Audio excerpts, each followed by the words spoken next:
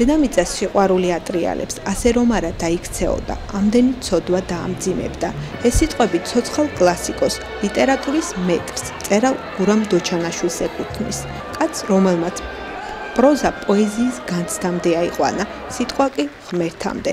გურუმმა მკითხველმა გურამ დოჩანაშვილის სამყაროში მოგზაურობა შეძლო. სამყაროში სადაც სიკვდილი ვალის მოხდა, სიცოცხლე კი გამოცდა გახლავთ. ოზურგეთის სახელმწიფო დრამატულმა თეატრმა გურამ დოჩანაშვილს უმასპინძლა. საზოგადოება საყვარელ წერალს ფეხზე წამოუდგა. სავსე დარბაზი კლასიკოსის შემოგზანებას აპლოდისმენტებით შეხვდა. პარტერში არც ერთი მისალოცი, ყველა მკითხველი, ადამიანი კლიმი იჯდა. საზოგადოება, რომელსაც დოჩანაშვილმა ლიტერატურა ძლიერ შეაყვარა. რავალჟამიერით და დაისით შეეგებდნენ გურულების ასურვალ სტუბარს. წერალთან გასაუბრების დროც დადგა. დარბაზიდან წამოსულ კითხვებს ბატონი გურამი გულღიად პასუხობდა. ჯერ ყველა ის გურული გაიხსენა, რომელიც ცხოვრების გზაზე მეგობრის, ახლობლისა თუ კარგი ნაცნობის სტატუსით შეხვდა. სიყმისა თუ სიჭარმაგის მეგობრებზე ვრცლად ისაუბრა. ერის თავარ ღირსება ჩვენი პატრიარქი ილია მეორე მიიჩნია. რომანი სამოსელი პირველი, რომელსაც გასული საუკუნის 80-იანი წლების სტუდენტებმა პირობითად ნობელის პრემია მიანიჭეს, აღმოჩნდა, რომ 13 წელი იწერებოდა. შედევრის ფურცელზე გადმოტანა ავტორს უძღების შვილი შინდაბრუნების ბიბლიურმა მოტივმა უკარნახა. თბილისიდან მოწვეულმა სტუმრებმა არნოლდ გეგეჭკორმა, სულიერმა მოძღვარმა, მამა ელიზბარმა, ლიტერატორმა კახა ჯამბურიამ ყველა უცნობი ნიუანსი თუ დეტალი გაიხსენეს წერლის შემოქმედებიდან. მასპინძელი გულანთებული მკითხველები კი საყვარელ წერართან მიახლების ბედნიერებას ეზიარნენ. 2 საათ ნახევარი სწრაფად მიილი მიილია. საღამოს ბოლოს პროზის კლასიკოს მეუფე იოსების ადგილობრივი ხელისუფლების მაჟორიტარი დეპუტატის ბიუროს სახელით, რომელიც ამ ღონისძიების ორგანიზატორი, გამომცემლობა მერიდიანის ხელმძღვანელთან, კახა რუსიძესთან ერთად გახდათ საჩუქრები გადასცეს. საღამო მუსიკალურად მუხამბაზმა, ეკა ჭელიძემ და ლალიკო ხლოტმა ქორეოგრაფიულად კი ანსამბლმა გურიამ გააფორმეს. წერლის ნაწარმოების გაცოცხლება მეორე საჯაროელებმა შეძლეს. საღამო ნომერ მეოთხე საჯარო სკოლის სიტყვიერების პედაგოგს ელენე მარს მიხავდა. ღონისძიების შემდეგ მაყურებელს გურამ დოჩანაშვილის ნაწარმოებზე შექმნილი სატელევიზიო სპექტაკლი შესთავაზეს. მაგრამ ის ვარადიო და წელადი და მოსული ის ვიღაც და ჩაით. ისე უღრმესი მადლობელი ვარ ამ სიტყვისთვის ეს ბერს მავალებს ძალიან. ამ სიხარულთან და ბედნიერებასთან ერთად დიდ პასუხისმგებლობას გრძნობ რომ სუ ისეთი მივაწოდო მკითხველს რომ ყოველთვის ასე კეთილგანწყობილებით ვიყოთ ერთმანეთთან და სიყვარული.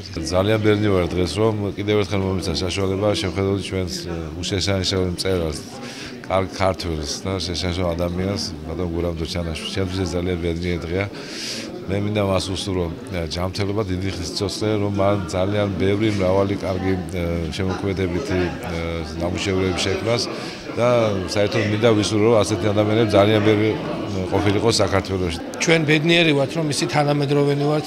მასთან ერთად დავაბიჯებთ დედამიწაზე რომელსაც სიყვარული ატრიალებს როგორც თვითონ ბძანებს და მადლობა ღმერთს რომ მისი მსგავსი ადამიანების თანადგომით ისევ ტრიალებს. მისი შემოქმედება როგორც თვითონ ამბობს ეს არის ხსულიწმინდის მადლის შთაგონებით და როგორც ბძანა არ არსებობს წერალი, არის გადამწერი, არსებობს ხატვარი, არის გადამხატავი.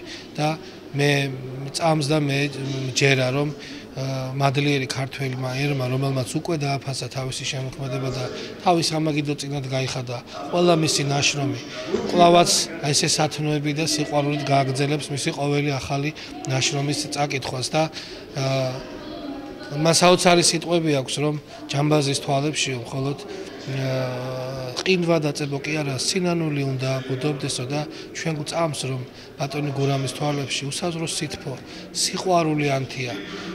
სანთელი რომელიც როგორც თავფარავნო ჭაბუკში ამბობს ელაპტრობს და მას ვერაფერი ვერ ჩააქვს მოვის პერანგი ყავფრიალებს თავის შემოქმედებაში მოვის წითელი პერანგი რომელიც არა სიკვდილეს არამედ მარადიულობის მანიშნებელია მარადიულობისა რომელსაც თავისი შემოქმედებით დაუპირისპირა სიკვდილი და სიცოცხლე და გაამართლა სიკვდილის არსებობა.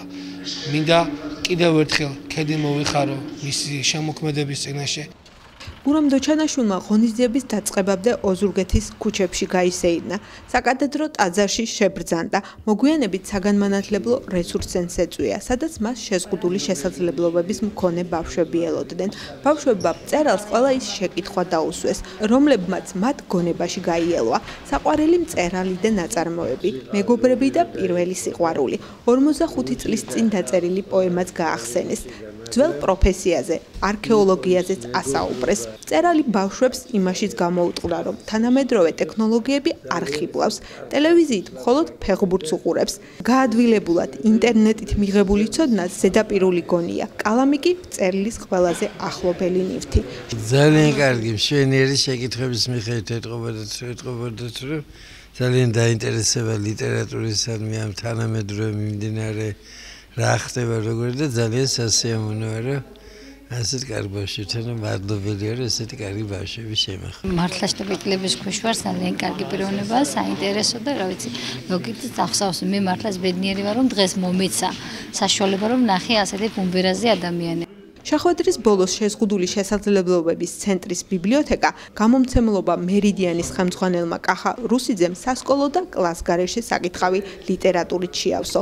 გამომცემლობა მერიდიანისგან საჩუქრები ახალგაზრდა პედაგოგთა კავშირთან არსებულ საოჯახო ტიპის სახლს და დღის ცენტრს იმედის სხივსაც ერგოთ. ჩვენი გამოცემები სასკოლო სახელმძღვანელოების ახალი გრიფიტებული სახელმძღვანელოებია პირველი მე-6 კლასების ჩათვლით ქართული და ლიტერატურა ბუნების ცოდნების სახელმძღვანელო ჩვენი გარემო და ხელოვნების სახელმძღვანელო, რომელმაც საკმაოდ მაღალი შეფასებები დაიმსახურა ძეფრების კონკურსში. თუ გვაქვს გამოცემის საბავშვო ლიტერატურის ბატონი გურამის წიგნები და ეს ყველაფერი გადავეცით მათ საჩუქრებად, რომ მათ ეს ყველაფერი ნახონ. შედარებით იოლად ეს პრინციპში ალბათ განთავსება ბიბლიოთეკებში შესაბამისად მათ სკოლებში და ყველა ცეკნება საშუალება რომ გაეცნოს და წაიკითხოს და ჩვენ გვექნება კავშირი აუცილებლად მოდივად მათთან.